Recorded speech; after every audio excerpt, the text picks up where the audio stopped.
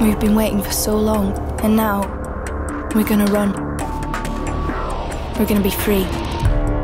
June has had a very sheltered life in Yorkshire and ends up running away with the love of her life and discovering some interesting things about herself.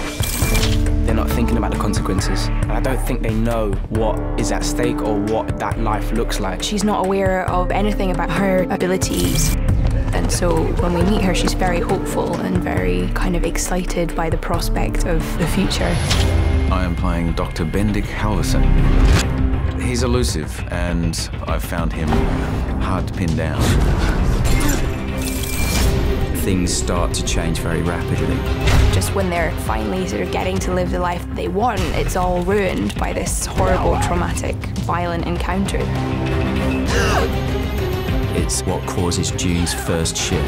The supernatural element in June being able to take on the form of other people is absolutely thrilling. The first person is a six foot four Norwegian bearded man. And so very early on, their kind of hopes and dreams start to fracture. It's freaking me. This is it. The roller coaster started. The train's left. She is one of them.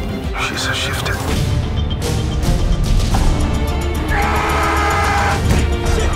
I know everything's about to change. She's everything you're looking for. Where is she?